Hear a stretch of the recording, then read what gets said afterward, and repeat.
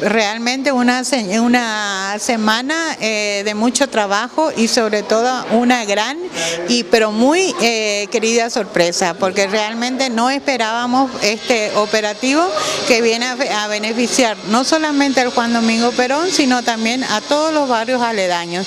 Y la gente, tanto la comunidad educativa, o sea, los padres, los alumnos, los docentes y el personal directivo de estas casas de estudio, estamos sumamente agradecidos por ser nuevamente elegidos como sede de este operativo. Y más este año que se cumplen 20 años desde el día en que comenzó el operativo en este establecimiento. Profesora, en el establecimiento se realizaron trámites, este, han sido eh, anfitriones de algunos organismos ya que están trabajando. Sí, por supuesto que sí. Ya eh, ayer comenzó el curso para hacer la licencia de conducir. Hemos tenido una concurrencia de 400 personas. O sea que realmente grande la expectativa y ahora lo que preguntan mucho es tema prótesis y este, otras cosas que yo les aclaré esta mañana temprano. Bueno, las calles del barrio están bien, el barrio en sí hermoseado, ¿no? el barrio sí está realmente muy lindo, así que la gente está muy contenta. Bueno, ¿cómo ve mañana a la mañana? ¿Mucha gente? Sí, como siempre. Como siempre que se hizo acá el operativo, siempre estuvo lleno. Y creo que este año no va a ser distinto. Estamos, vamos a decir, contentos en la comunidad eh, con esta llegada, que sabemos que muchas cosas nos va a solucionar eh, en este tiempo difícil que estamos y estamos muy contentos en ese sentido. ¿Vecino hace cuánto tiempo?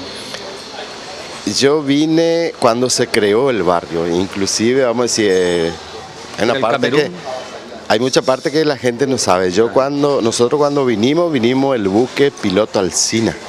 Cuando, eh, yo cuando nos inundamos nosotros nos llevaban el buque y de ahí vinimos un grupo de personas que fueron los primeros que poblamos prácticamente el, el Juan Domingo Perón, cuando eso era Camerún, porque no tenía ni nombre, era sacarnos el barco y ubicarnos. Y vinimos acá acá en donde estamos ahora, por ejemplo, que eran tiempos muy difíciles cuando eso, pero eran tiempos que no había nada. Ahora tenemos todo, ahora tenemos casa, cloaca, todo. Yo lo que siempre comento con, los vecinos, con la comunidad, es cómo eh, evolucionamos nosotros, cómo el barrio en sí. Eh, la mayoría de las casas, por ejemplo, eh, siguen estando los vecinos que vinimos, o sea, nos arraigamos acá, defendimos y nos quedamos.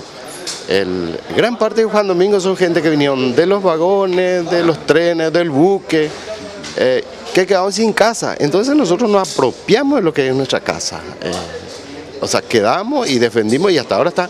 Y lo que ha avanzado, tenemos una escuela hasta mucho tiempo, eh, fue una de las mejores escuelas más lindas que nosotros tuvimos. Para mí, sí, sí. Sabino, tiene mucho que ver también lo que usted marcaba, ¿no? El ahínco de los vecinos en crecer y también un Estado presente que quiso también, ¿no? Claro, no, el Estado es fundamental, sin el Estado no hacemos nada.